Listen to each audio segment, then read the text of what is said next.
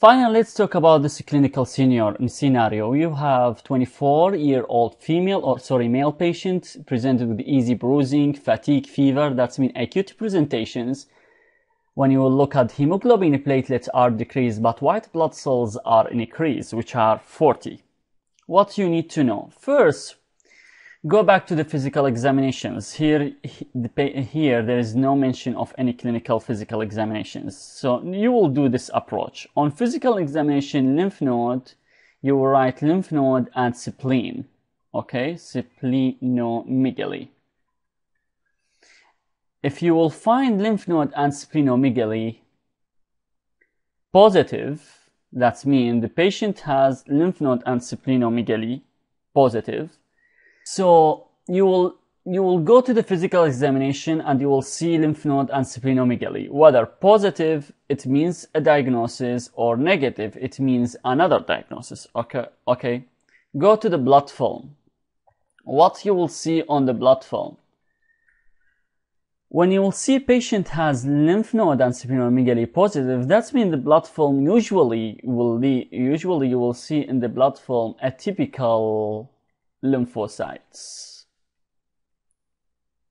Okay. Atypical lymphocyte, a patient with acute presentation male lymph node and splenomegaly positive, that's mean EBV virus, which is infectious mononucleosis. Okay. And this is atypical lymphocyte responsible for increasing white blood cells count in this patient. On the other hand, when you will see blood elevated more than 20% and the patient lymph node and splenomegaly positive with acute presentation, this usually means you are dealing with leukemia, right? Okay, now you are dealing with leukemia and mostly you are dealing with acute, with acute leukemia. Now, according to the age, although the age may be sometimes overlap, but according to age, you are mostly dealing with acute myeloid leukemia. So, how you know that?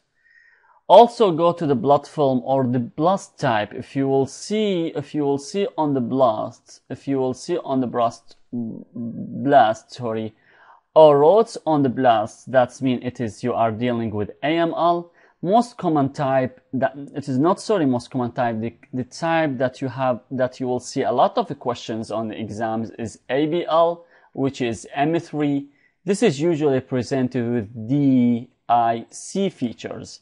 That means you will see PT and PTT in this patient increase. You will see bleeding bleeding from IV sides. You will see bleeding from IV side of bleeding acute presentation DIC, AML, Auer rods positive. If you will see Auer rods negative, that means you will see another marker which is TDT. Here the Auer rods, here the Auer rods negative. Now you are dealing with ALL. Okay, now you are dealing with acute lymphoblastic leukemia. And again, ALL could be pre-B and pre-T, pre-T, the same topic that we discussed in the first video. So the reason of this case, I want, I don't want you just to focus on an acute leukemia as differential diagnosis, but I want you also to remember another differential diagnosis, which is EBV, EBV virus infectious mononucleosis, also could be presented with acute symptoms, also could be presented in young adult male or female, but keep in, more, in your mind you have three differentiation First, you will have lymph node and splenomegaly in this patient. Second, you will have atypical lymphocytes. Okay?